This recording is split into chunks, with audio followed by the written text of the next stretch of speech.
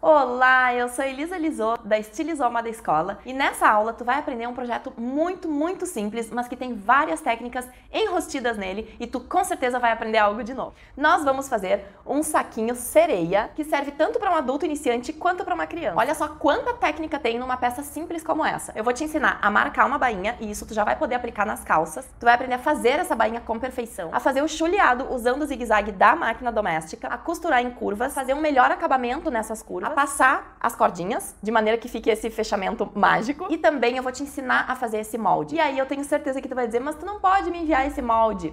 Assim, eu como professora de costura de crianças, sei que a minha função é ensinar a pensar. E no momento que eu te entrego um molde pronto, eu castro essa tua capacidade de pensar. Tu fica dependente de um dispositivo, como computador ou celular, um arquivo pronto e uma impressora. Então, se faltar um desses três, tu já não vai conseguir fazer. Enquanto que se eu te ensinar a fazer esse molde, eu tô te ensinando a pescar, né? Tu vai precisar só de uma folha, um lápis e uma régua ou fita métrica. Qualquer lugar que tu esteja, tendo poucos recursos, tu vai ser capaz de fazer, porque tu não vai ter aquela dependência que foi criada. Entendeu? Então vamos lá fazer todo esse passo a passo desde o início. Para fazer o molde, tu vai precisar de uma folha, uma régua e uma caneta.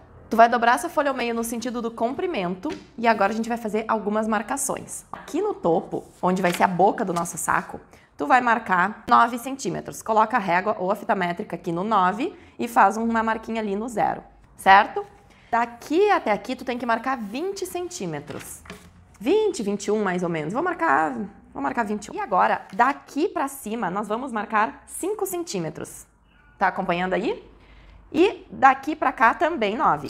Lembra que essa marcaçãozinha de 21, aqui tu tem que entrar 3. Vai colocar a régua ali no 3 e fazer só um pinguinho. E agora vai ser o seguinte, a gente vai meio que desenhar essa sereia unindo esses pontos. Eu sei que agora tá meio estranho, a gente não tá entendendo muito bem, mas eu prometo que isso aqui vai virar uma cauda de sereia. Lá onde a gente marcou 9 e até aqui assim onde tem o 3, vai ser o corpo da cauda. Pode fazer assim com tracejados, às vezes tu vai aumentar ou diminuir, tu vai tentar ver o que, que tu acha melhor. E aí agora aqui faz o pedacinho que faltou da cauda. Deu para entender?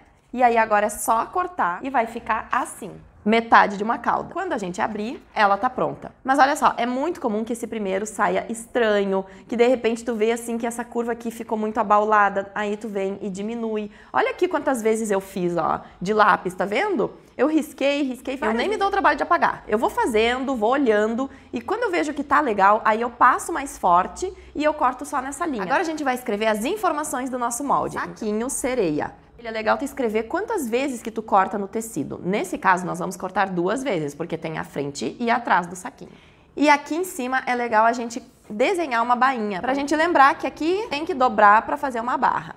E tá pronto o nosso molde. Agora a gente vai lá pro tecido para riscar, costurar e só depois cortar. Tu já vai entender por quê.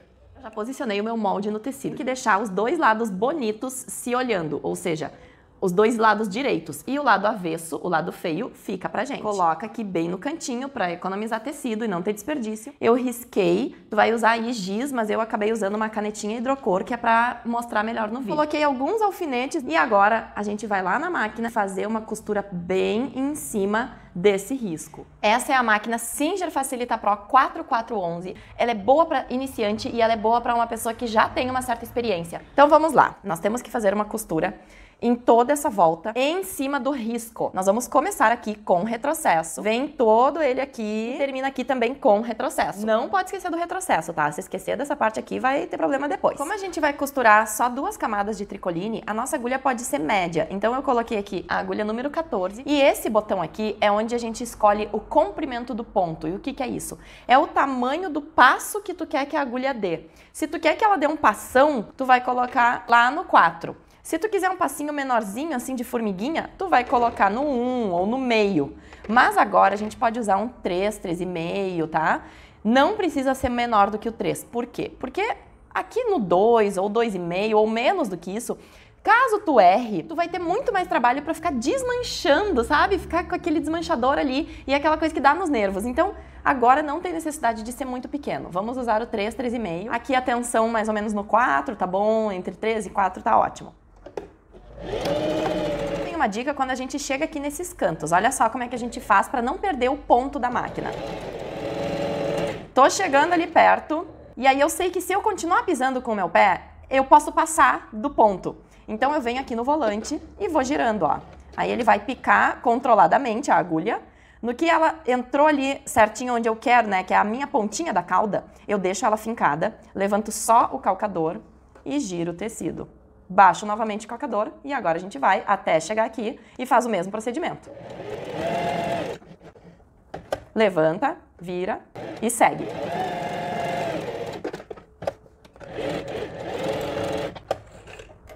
E ficou pronto. Agora a gente vai tirar os alfinetes e cortar com uma margem de meio centímetro em toda a volta. E vai ficar assim, toda ela com margem, certo? Aqui, ó, do outro lado tu pode ver sem a caneta. Temos alguns pontos que a gente precisa fazer um leve truque para que na hora de desvirar o saquinho ele fique bem. Nós vamos pegar uma tesoura com uma ponta bem afiada, ela tem que ter fio aqui na pontinha, tá? E tu vai dar alguns piques nessas partes onde tem, por exemplo, um, um V, né? Aqui, ó, parece que é um Vzinho. Então, nessas partes assim e também aqui, onde é ponta. A gente vai tirar esse acúmulo de tecido que vai ficar na hora que desvirar, tá entendendo? Então, faz lá, ó, em todas as pontas e na pontinha aqui.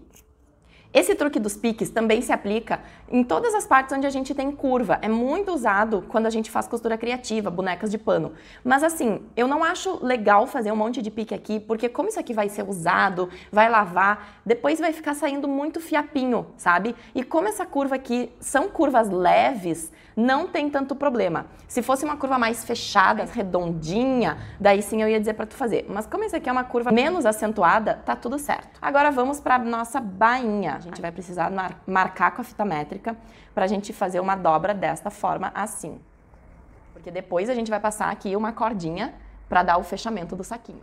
Para fazer uma bainha perfeita, e isso agora tu pode aplicar até nas tuas calças, tu vai fazer o seguinte. Digamos que eu quero diminuir um centímetro e meio. A minha bainha tem que dobrar assim um e meio. Então eu vou pegar minha fita métrica e vou marcar o dobro de um e meio, que é 3 centímetros. Eu coloco lá em cima, no zero, e eu faço algumas marcações no 3.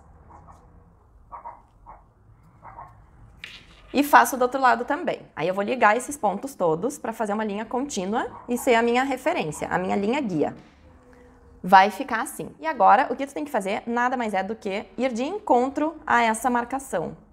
Ó, a gente vai encontrá-la assim. Nos dois lados, ó. Dobra, marca e coloca alfinete. Eu vou te mostrar aqui duas formas de alfinetar, porque pode ser que tu aprenda alguma, né? Não sei se tu já sabe, mas é assim. Tu pode colocar os alfinetes assim, na, atravessados na costura, ou assim.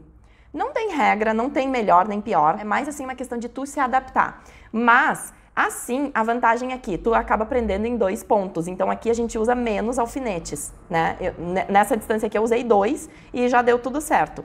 Desvantagem, eu preciso sempre ir tirando, porque ele vai andando ali e eu tenho que ir puxando. E tu tem que lembrar que a cabeça do alfinete, a bolinha dele tem que ficar virada para ti. Mas por uma questão assim de não ter que puxar assim por cima, entende? E sim, direto para ti assim, né? Fazer essa puxada que é mais fácil do que tu fazer isso aqui com a mão. Mas é claro, se em algum momento tu alfinetou e viu que as bolinhas ficaram para lá, não tem problema, não vai desalfinetar. Só vai passar um pouquinho mais de trabalho, tá? E esse outro aqui, a vantagem é que a gente não precisa tirar ele na hora de costurar. Ou seja, a agulha vem vindo e ela pula. Porque, né, ele tá assim e a agulha quando ela vi... se for para bater, como é redondo, ela vai desviar dele. Então, assim, a prof aqui, né, nunca viu é, acontecer de quebrar, tá? Se, se acontecer aí, vocês me contem aí nos comentários, mas por enquanto comigo nunca aconteceu, nem com as minhas alunas. Qual é a desvantagem? Eu preciso usar muito mais alfinetes. Então aqui, ó, enquanto eu usei nesse mesmo espaço somente dois, nesse outro tive que usar três, tá? Então tu testa, vê o que, que tu mais gosta. Uma coisa que eu gosto muito nessa facilita é que ela tem o recurso do braço livre. A gente tira aqui e tem como encaixar uma barra de calça ou um punho de camisa e a gente consegue ter um melhor acesso. Olha só, vai ser assim. Agora o ponto que a gente vai usar vai ser o zigue-zague. Então aqui tu só dá uma giradinha. Aqui vamos botar lá pro número 2. Essa questão aqui no zigue-zague vai fazer assim, ó. Ou ele é bem comprido, ou ele é mais juntinho. E a gente quer agora mais juntinho, certo? Porque a gente vai fazer um zigue-zague já fazendo a bainha e chuleando essa parte aqui do tecido, para que ele não fique desfiando, tá bom? E aqui vamos colocar lá no número 6, que é o, a largura do zigue-zague. Como é uma costura tubular, a gente não precisa fazer retrocesso agora aqui no início. A gente faz só lá no final, porque a gente vai fazer um círculo e aí, quando ele encontrar, a gente faz por cima. E aí fica uma costura muito mais limpa, mais profissional e mais elegante. Esse zigue-zague, ele tem que picar uma vez fora, uma vez dentro. Uma vez fora, uma vez dentro dessa abinha aqui que a gente acabou de dobrar. Deu pra entender? Então vamos lá. Ó, tô chegando aqui naquela parte que eu alfinetei atravessado. Será que vai quebrar agulha? Vamos testar. Tchan, tchan, tchan, tchan. Deu tudo certo! Chegando aqui, aí sim a gente vai apertar aqui o retrocesso. Olha como é que ficou? Alfinetes e agulha intactos. E agora é só desvirar. E aí tem um segredo para tu desvirar. Normalmente a gente começa fazendo aqui, tentando puxar, né? Porque é assim que a gente faz com as roupas desde criança. Só que tem uma maneira mais fácil, que é assim, ó. Tu começa lá pela parte mais fininha e vem com o dedo e empurra. Assim, tu consegue pegar as partes mais difíceis primeiro. Se tu precisar, tu pode pegar uma tesoura ou até um hashi de sushi para empurrar essas pontas. Chegamos na parte do acabamento. A gente vai precisar de algum barbante. No meu caso, eu peguei lã porque eu não tenho barbante aqui. E aí tu vai ter que medir toda essa circunferência de maneira que dê a volta, ou seja, duas vezes essa medida. E aí coloca uma folguinha, uma mão aberta assim. E aí tu vai pegar dois pedaços deste tamanho. Mede um pelo outro, temos dois, tá? Aí aqui vai ser o seguinte, nós temos que fazer um furinho. Tem um jeito que é mais assim de avançado, que a gente faz uma casinha de botão. É aqui que a gente faz casa de botão. Começa aqui no 1, depois 2, depois 3, depois 4, tá? Aqui a gente faz a casinha na 4411. Como esse projeto é mais simples, é para iniciante, para criança, nós vamos fazer um corte e não tem problema que não vai desfiar, tá? Tu vai pegar aqui assim, deslizando com os dedos, ó. Faz assim e anda um pouquinho. E aí a gente vai fazer um pique aqui e outro pique aqui. Segura a tesoura bem reta, né, bem perpendicular, não deixa ela ficar assim inclinada, senão vai ficar um V ao invés de um I. Dois cortezinhos. Se achar que tá muito fininho, dá uma aumentadinha, tá? Faz isso nos dois lados. Aí tu vai pegar um dos barbantes, coloca a pinça de passar, ou um grampo de cabelo também serve, ou um alfinete de segurança. E aí tu vai enfiar num, num buraquinho e dar toda a volta e sair neste aqui, entendeu? Entra nesse e sai nesse. Não pode entrar nesse e sair lá do outro lado. Chegou aqui, eu tiro a minha pinça e dou um nozinho assim, unindo as duas pontas. Agora eu vou fazer a mesma coisa com o meu outro barbante. Entro num furinho, dou a volta e saio aqui no outro. E dou um nozinho. E aí vai ficar assim, um nozinho desse lado, outro do outro. E olha só, quando a gente fecha, tantan, fica um saquinho fechado e as tuas coisas aqui bem protegidas. Viu só como é fácil fazer um saquinho com muitas técnicas enrustidas? Agora tu pode fazer no tamanho que tu quiser e nas cores que tu quiser. E boas costuras!